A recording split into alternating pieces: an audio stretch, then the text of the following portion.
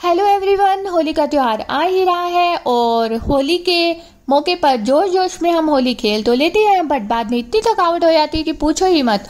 और हमारी एनर्जी सारी ऐसे लगती है कि वेस्ट ही हो गई है और इसी एनर्जी को वापस लाने के लिए कूल कूल ठंडाई मिल जाए तो कहना ही क्या? तो चलिए फटाफट से बता देती हूँ आपको ठंडाई की रेसिपी तो यहाँ पर ठंडाई बनाने के लिए जो भी मैंने ड्राई फ्रूट्स लिए हैं, वो मैं आपको बता देती हूँ। और यहाँ पर दो गिलास में बना रही हूँ ठंडाई। तो उसके अकॉर्डिंग मैंने थोड़े से बादाम लिए हैं, थोड़े से काजू लिए हैं। दो चम्मच मैंने यहाँ पर लिया है पोपी सीड्स, यानी कि खसखस, और ये मैंने लिया है पम्पकिन सीड इसकी जगह आप मेलन या फिर वाटरमेलन सीड्स भी ले सकते हैं, और यहाँ पर लिया है मैंने थोड़े से पिस्ता। और साथ में मैंने डाले हैं रोज पेटल्स फ्रेश है ये। और इनको हम सोक करने के लिए रख देंगे पाँच से छह घंटे के लिए। और यहाँ पर मैं इनको रख रही हूँ फ्रिज में, क्योंकि अब थोड़ा सा गर्म मौसम हो चुका है तो इन्हें आप रख दें फ्रिज में। ताकि ये जो हमारे ड्राई फ्रूट्स हैं थोड़े से सॉफ्ट हो जाएँ। और अब मैंने यहाँ पर लिया है थोड़ा सा दूध। और दूध में मैं डालूँगी थोड़ा सा केसर, ताकि जो केसर है वो अपना अच्छा सा कलर छोड़ जाए।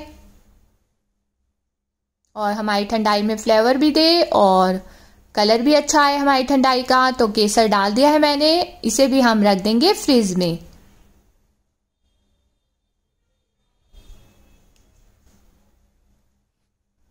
और यहाँ पर मैंने लिए हैं कुछ ड्राई मसाले, जैसे कि थोड़ा सा सौंफ, इलायची, दालचीनी का छोटा सा टुकड़ा और काली मिर्च। तो इसे भी हम ठंडाई में यूज़ करने वाले हैं। तो ये देखिए, पाँच से छह घंटे हो चुके हैं। हमारे ड्राई फ्रूट्स जो हैं, इसके अंदर बहुत सॉफ्ट हो चुके हैं। और ये देखिए, केसर भी अपना कलर कितना प्यारा सा छोड़ चुका है। और अब हम क्या करेंगे? सबसे पहले हम ये जो ड्राई मसाले हैं, इनको हम ग्राइंड करेंगे। तो ये देखिए ग्राइंड कर लिए हैं। अब हम इनको छान लेते हैं ताकि जो हमारी जो इलायची का छिलका वगैरह है, वो हमारे मुँह में ना आए। तो छान लें आप इसे।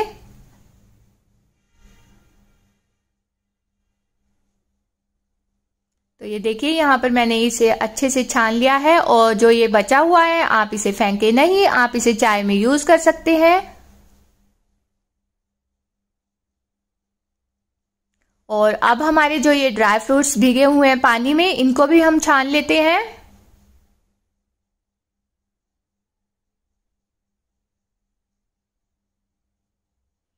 और छानने के बाद इन्हें भी हम ग्राइंड करेंगे। बहुत स्मूथ सा पेस्ट बनाएँगे हम इनका।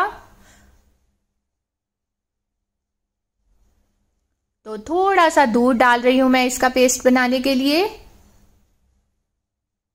पहले मैं थोड़ा सा डालूँगी, अगर ज़रूरत पड़ी, अगर स्मूथ पेस्ट नहीं बना तो थोड़ा सा दूध और डालेंगे हम। तो ये देखिए थोड़ा सा दूध मैं इसके अंदर और डालूँगी और हम अच्छे से इसका स्मूथ पेस्ट बनाएँगे, ताकि कुछ भी हमारे दांतों में ना आए और ये एकदम स्मूथ पेस्ट बन जाए। तो ये देखिए, एकदम स्मूथ पेस्ट तैयार हो चुका है हमारा। और वो मैंने मसाले का जो ग्राइंडर होता है, उसमें बनाया था। उसमें अच्छे से आपका पेस्ट तैयार हो जाएगा। अब मैं इसे दूसरे जार में कन्वर्ट कर लूँगी। तो ये जो हमारा तैयार किया हुआ है पेस्ट वो इसके अंदर डाल दें और यहाँ पर डाल दिया है मैंने दो गिलास दूध साथ में।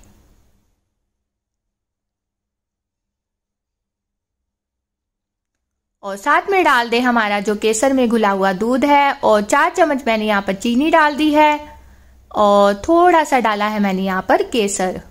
और ये हमारा जो ड्राई मसाले हैं, इलायची, दालचीनी, सौंफ, काली मिर्च, ये भी हम डाल देंगे, और इसे अच्छे से ग्राइंड कर लेंगे। और कूल कूल हमारी ठंडाई तैयार हो चुकी है, और इसे कूल कूल और बनाने के लिए हम इसके अंदर डालेंगे आइस क्यूब्स। बहुत ही मज़ेदार बनती है। गर्मियों में आप इसे पीते भी रहे, अच्छी भी होती है ये पीनी। तो ये देखिए, मज़ेदार सी हमारी ठंडाई बनकर तैयार है। तो आप भी ज़रूर बनाइएगा इस होली पर ये ठंडाई और होली के बाद एंजॉय कीजिए इस ठंडाई को।